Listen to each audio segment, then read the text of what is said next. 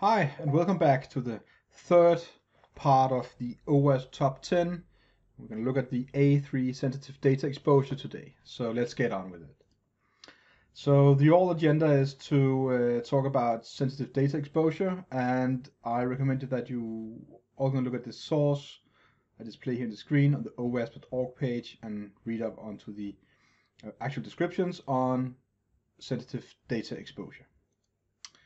So what is all this sensitive data exposure and how has this become a bigger problem over the years?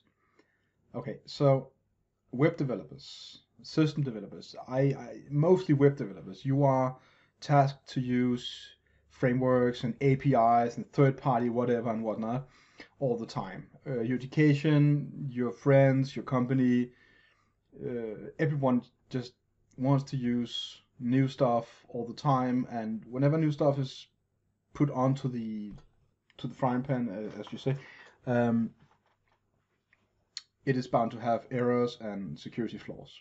so when I say this has become a worse uh, thing over the years, it's basically all about that uh, a lot of frameworks and APIs have been introduced all the time, and the same flaws and security issues are you know, just in a way inherited down to to to the new uh, framework or API. So I would suggest that you know sticking to one or good two or three good uh, frameworks or APIs that is that's been on the market for for a long time um, that can that is being patched and updated still. Another thing is that you know more stuff is accessible from the public more APIs, more cloud solutions, more security, more things to secure is bound to just be more insecure. It is the natural way things are. So um, let's assume that you that you develop something from vanilla, um, which is you know the old ways. It does take more time. Uh, however, it it it also give you the possibility and opportunity to to secure a system and correct the small flaws the one language or technology you chosen have. For example, React and Angular have leaked a lot of data, um, but in the old days, these these kind of features uh, you can find in the newer frameworks and libraries were kind of hidden because, uh, and of course, also uh, some companies and, and owners did actually have a, a, less secure part because of uh, non-informed developers. Which is also why I think it's a really good idea that you go and read the documentation on the owasp.org to get the full picture. So I guess this leads to the, the whole idea, frameworks and APIs, are they good or bad? Well, in my eyes, I I think frameworks and APIs are, are, are brilliant because it makes it makes things done uh, quite easy, and you can share your data and your data flow with other parties. Nothing wrong with that. You just need to make sure that you secure the connection uh, from your API or your framework, and whatever happens out of bounds. So whenever data flows away from your server, away from your network, you don't really know what happens to that data. So you can you could probably say that, but I used, for example, HTTPS uh, certificate. So I'm sending my my data or secure connection using a secure HTTP uh, S protocol, right?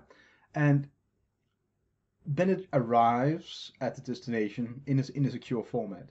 But what happens when the, the destinational uh, part sends the data somewhere else or back to you?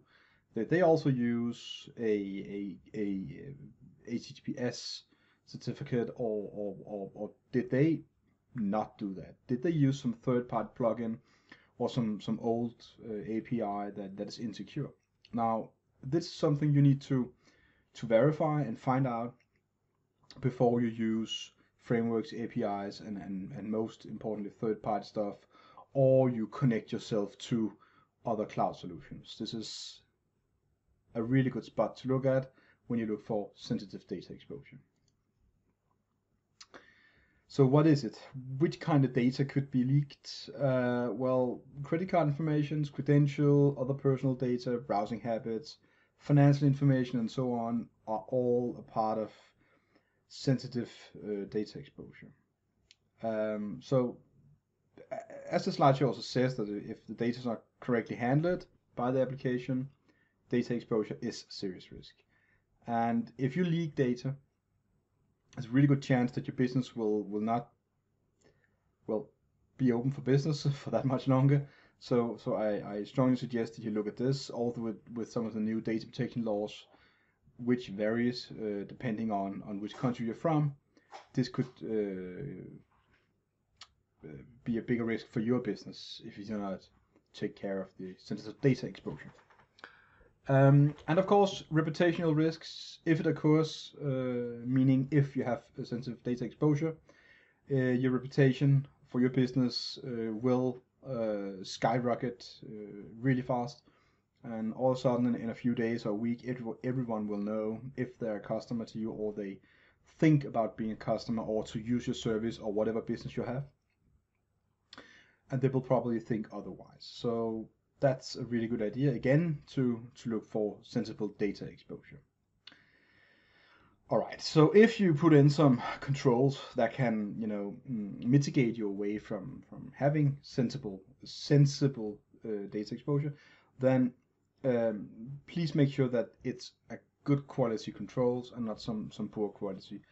Uh, that could be uh, software installed to to detect uh, traffic you're sending uh, from your network uh, and out, or traffic you are receiving, for example, to verify well, did they actually use the uh, HTTPS certificate? Did they encrypt the data? Is it serialized data? What is it? How is it the format of the data packet you're receiving?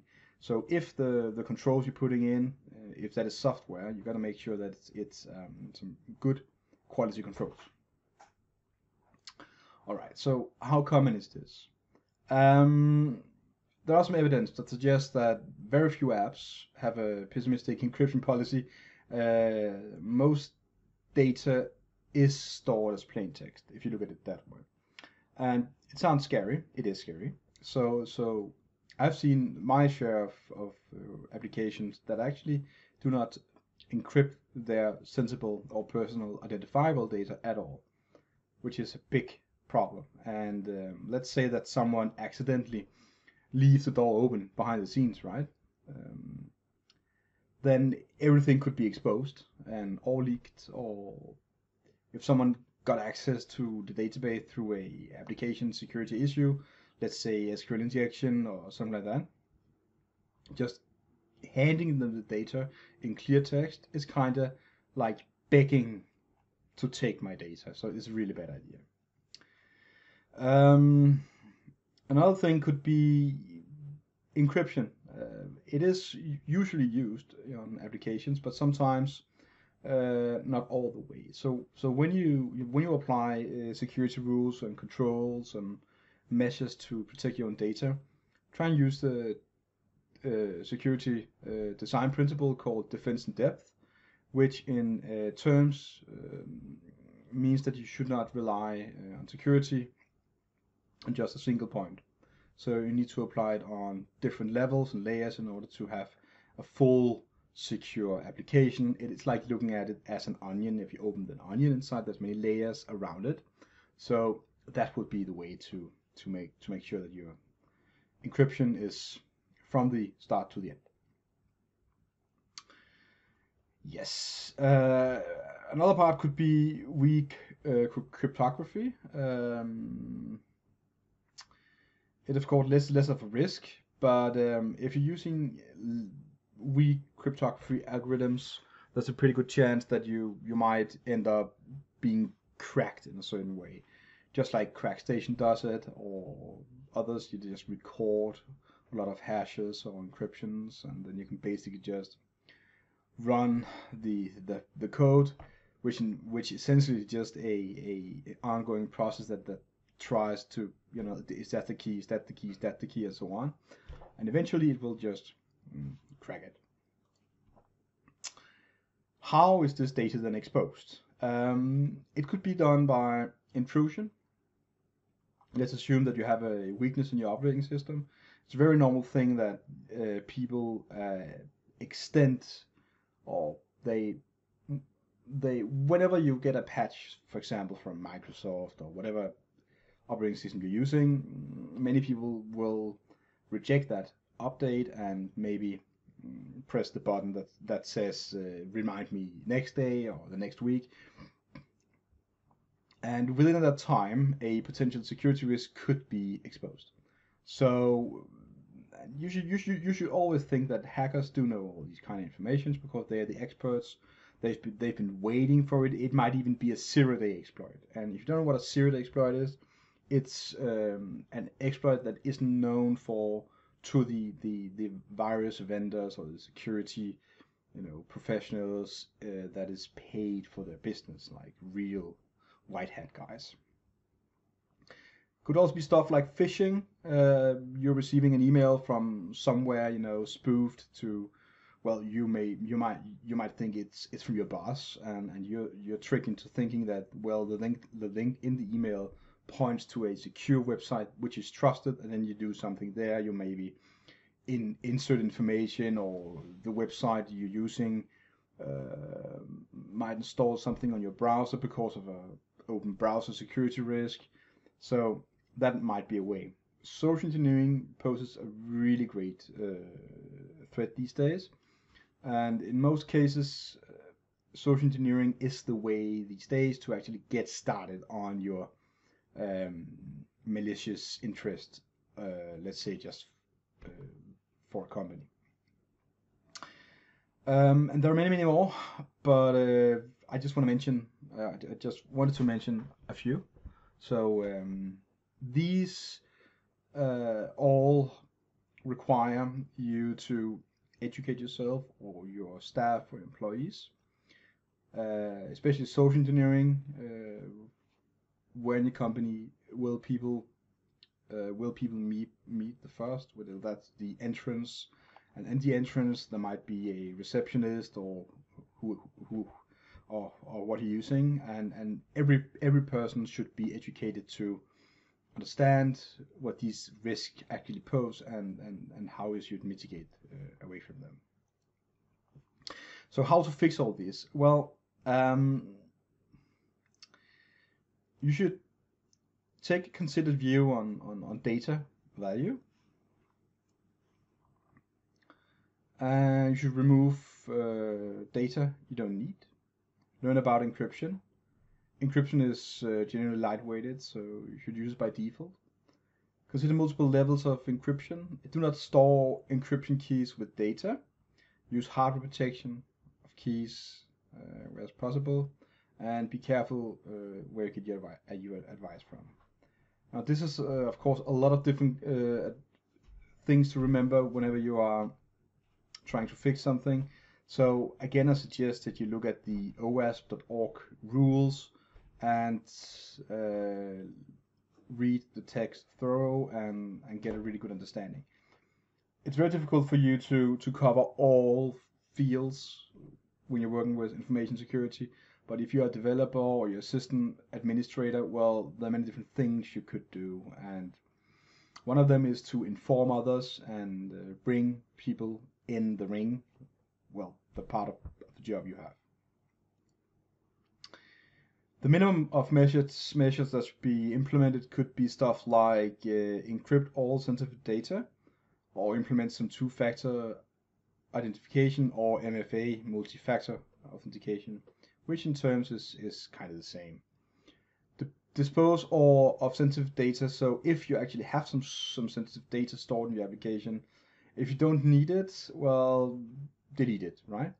Delete, disable autocomplete and caching. So if your application got some autocomplete feature going on, uh, or maybe even caching some some stuff people typed in, disable it. Have your backups and plan for data loss or data theft.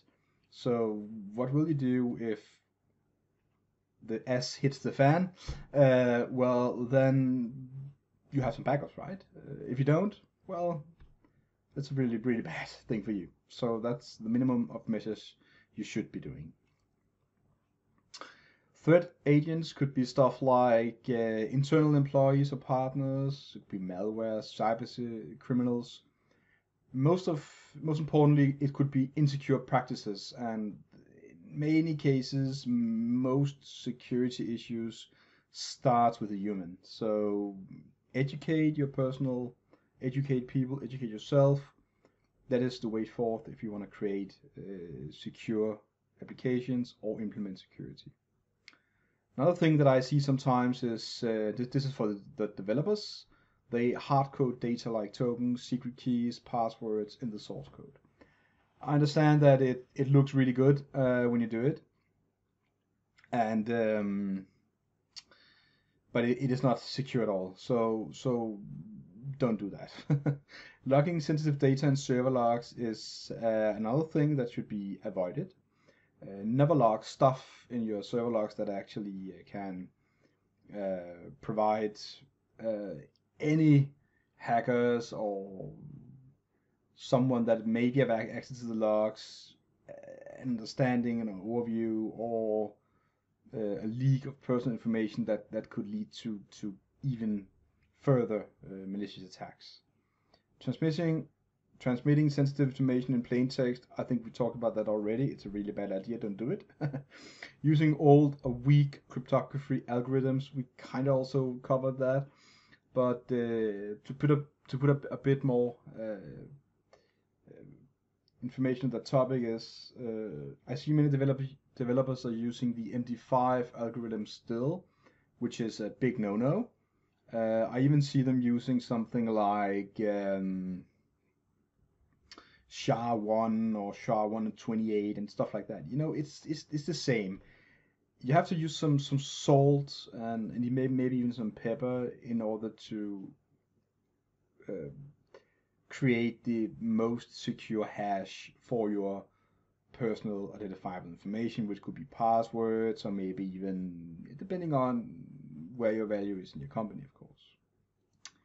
So the old summary is do not store information if, if it's not necessary, encrypt sensitive data, and learn from others' mistakes.